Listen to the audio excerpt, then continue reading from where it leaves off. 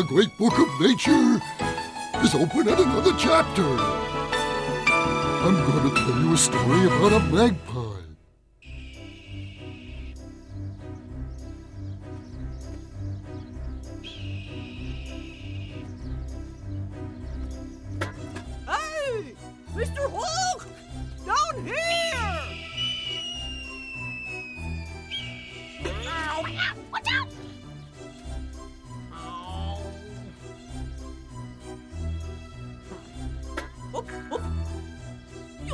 Let him get away. I guess I don't see too well when it starts getting dark. Well, it's time for the old pro to step in and show you how it's done.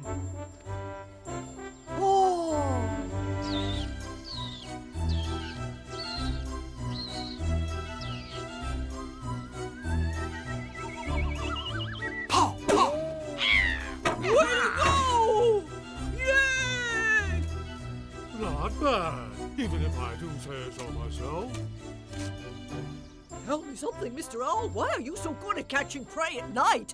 Mr. Hawk here is pretty good too, but when it gets dark, he's not so hot. I have very special eyes. The darker it gets, the better I see, and I have very good hearing too. I can hear a mouse clearing its throat a mile away, give or take a yard or so.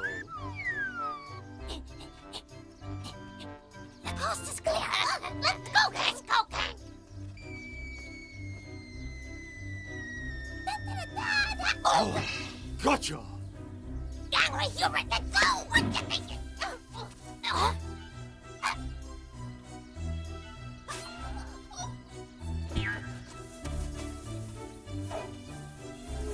Gotcha!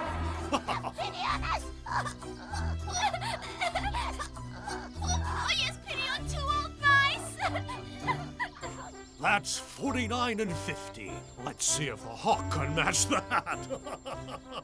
Here's the latest on the mouse competition currently underway between Mr. Owl and Mr. Hawk. Latest reports indicate that Mr. Owl has pulled ahead with his 49th and 50th grabs. Congratulations! what are you gonna do? Class will tell every time. Poor old hawk just can't take the pace. He thinks he's so smart just because he can see at night. Well, we'll get even with him. He'll be sorry he ever tangled with us. I swear it. I swear it. Take it easy, Chief. He can hear you. He's got real sharp ears. You know that. He doesn't scare me. We need that rice, and by golly, we're gonna get it. Right.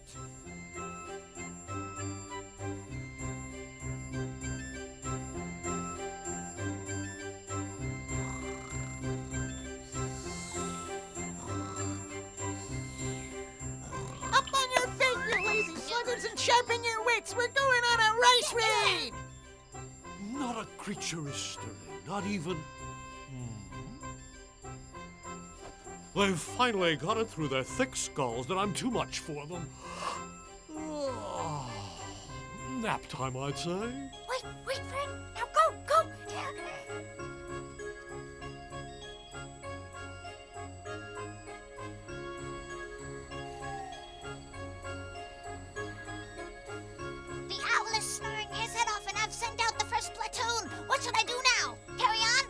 The Platoon B!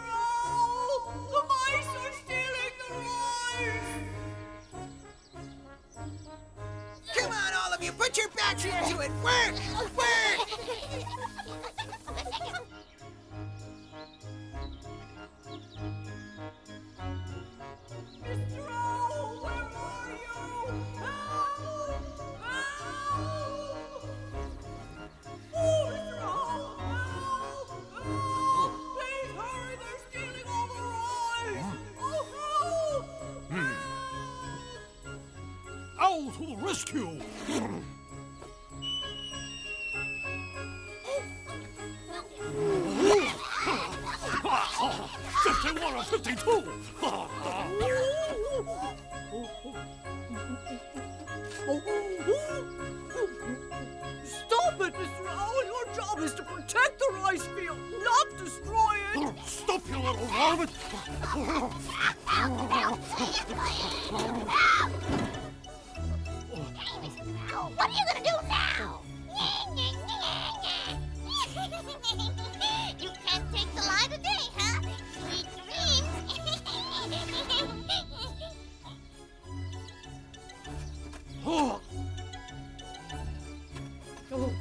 I'll take care of him.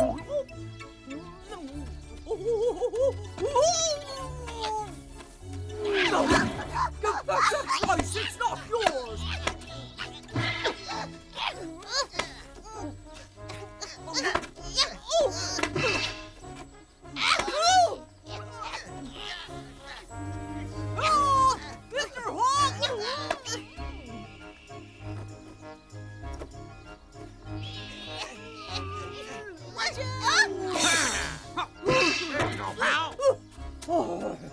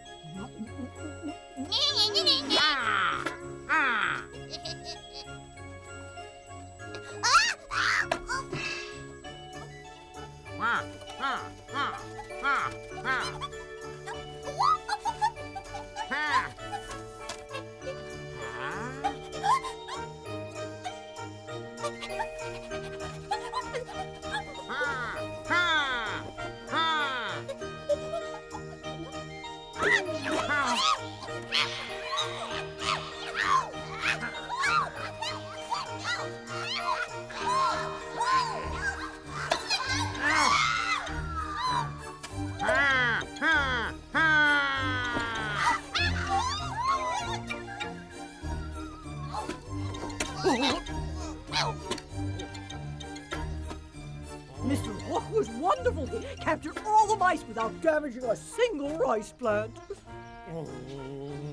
I was just lucky that it happened to occur during the daytime, that's all. No, you weren't lucky. You were fearless and clever, and you did your job. I was presumptuous and arrogant. Oh, dear. If I had been as attentive as you were, if I had done what I agreed to do, then none of this would have oh, ever happened. Well, there's a lesson in all of this. If you want to save your harvest, then don't compete. Cooperate. Indeed.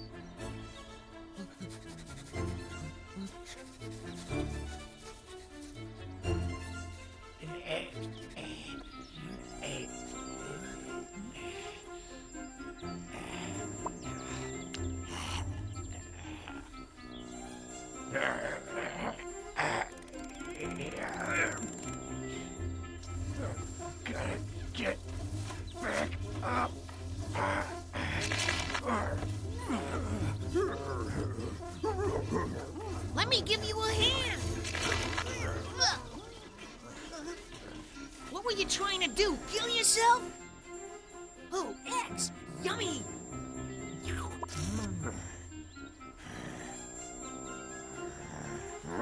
I've got an idea how we can get those eggs. What we have to do is form an alliance. We go back to the tree, you hold my back paws while I reach down and scoop them up. La la la! Isn't that a great idea? What do you say? That's a great idea. Let's shake on it. Of course, all the profits our partnership develops will be divided equally. We'll take care of trifling details like that later, partner. Oh, eggs for breakfast, eggs for tea, eggs for you, and eggs for me.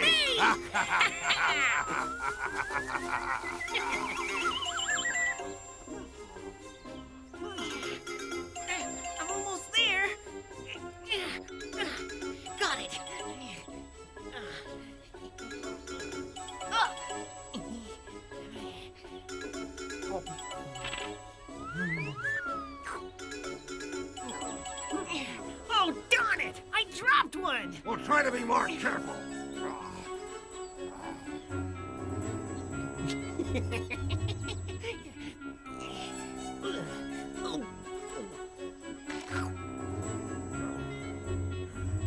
What's going on?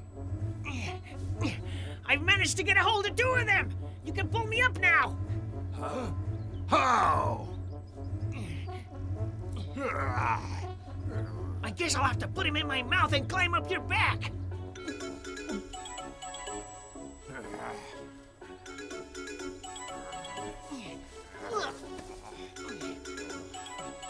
Hold on!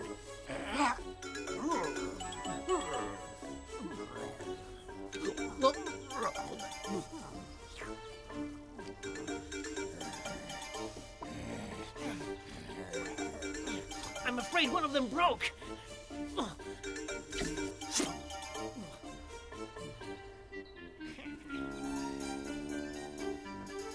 Was my fault. This one's yours. Here. No, it's yours. You deserve it. Oh, no. Never. It's yours. I wouldn't dream of touching it. It's yours. I was the one who dropped the others. This one is yours. You take it. Ah.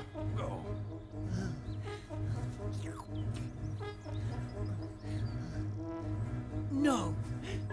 It's yours. Oh, I couldn't. Got to. No, it's yours. I insist. You did your share of the work. You gotta have your share of the booty. It was all your idea. Couldn't have done it without Keep you. it, partner. I'm not hungry anyway. Well, Mr. Wolf, you are truly one of nature's gentlemen. To your good health, sir. Was it good, my friend? Simply delicious. Thanks to you. Well, now it's time for me to fill my belly. There's nothing left. I had in mind a light snack. Huh? A sneaky liar who thought he could pull one over on me. Yeah, you. Huh? Ha. Ha.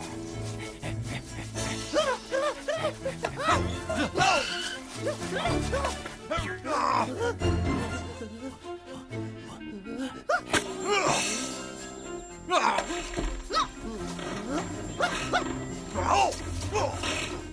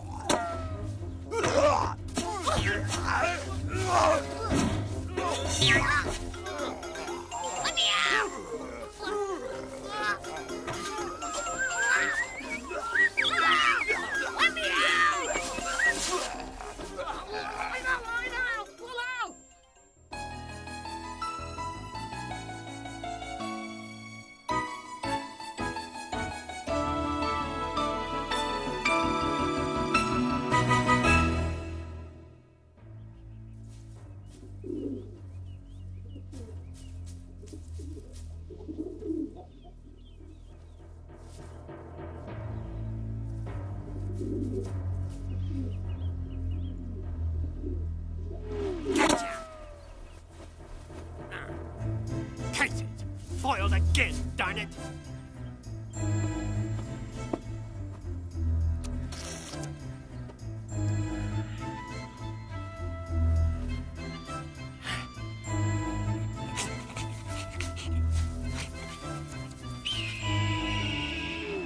Gotcha! Well, that bell I put on my falcon sure does the trick. Got a nice fat pheasant today, too. Huh? A magic bell. well, we sure put in a good day's work, my friend. Now let's go back home and enjoy the tasty reward. Yeah, it sure was a good idea to put that bell on you. Why don't I steal the magic bell?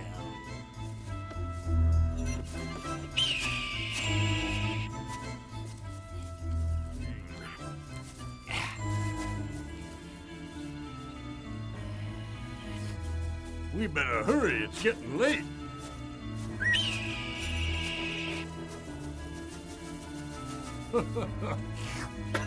Off we go.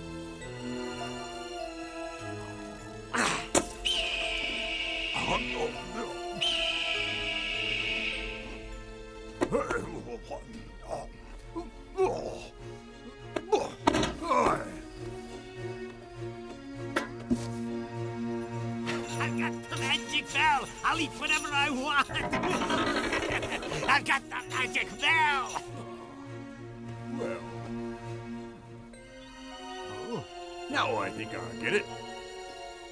I got the magic bell. I've got the magic bell. I'll never go hungry again.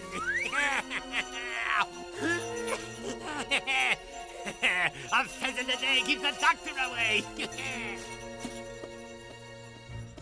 Oh, I hear the sound of your bell. hooray, hooray, hooray, hooray, hooray. Let's go. Hey, where you going? I got the bell. Come back here. Come back here. I got the bell. Come back here.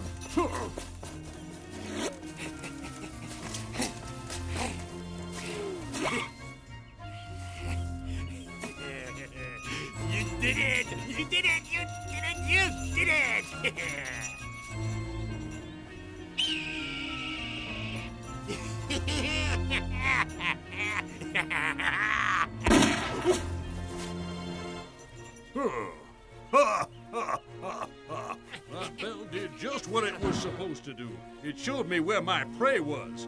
Now maybe you'll think twice about stealing other people's property.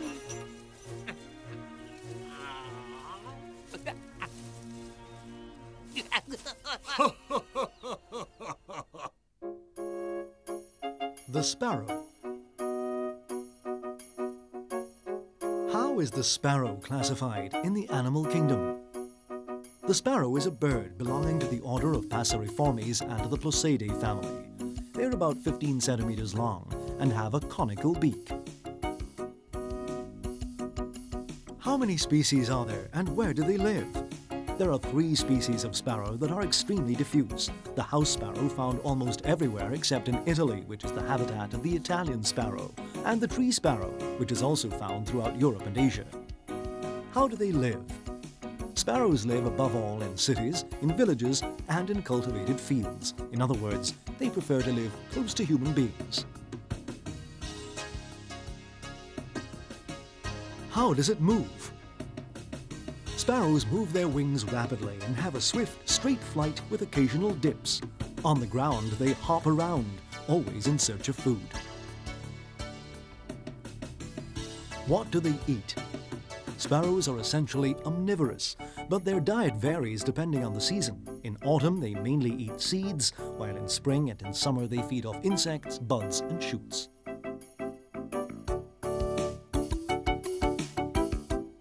How do they protect themselves? Unfortunately, their only way of defending themselves from their many predators is by flight. How do they relate to people? Not very well, since sparrows are often accused of ruining crops by devouring both seeds and shoots.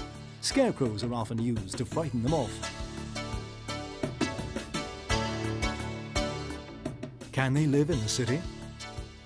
Yes, sparrows live quite happily in the city.